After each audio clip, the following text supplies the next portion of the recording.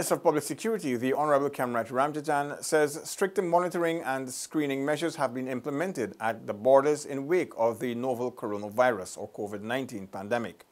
The Guyana Police Force, in collaboration with the Guyana Defense Force, were urged to be more proactive in monitoring communities in Regions 1 and 7, which share a border with Venezuela, in Region 9, which shares a border with Brazil, and Region 6, which shares the border with Suriname.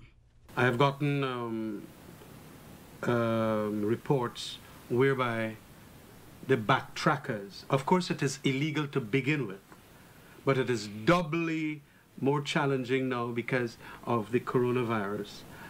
Um, but we have cases where I've heard that these backtrackers are using these um, boats that they always use to come across bringing passengers from over Suriname into Guyana and obviously also carrying them. What I've done is to speak to the Surinamese officials that we have to also, they have to also do some more checking from the exit points that these boat owners would normally do.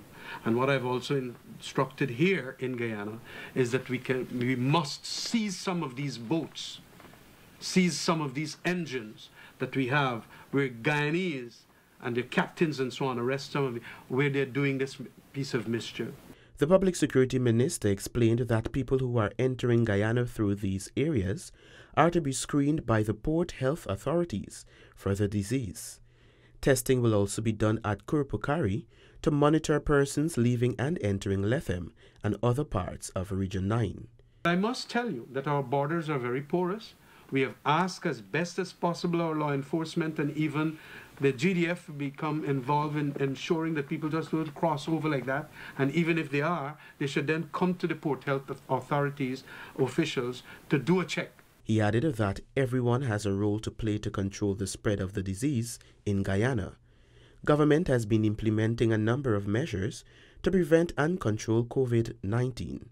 For InfoHub, I am Kellon Rover reporting.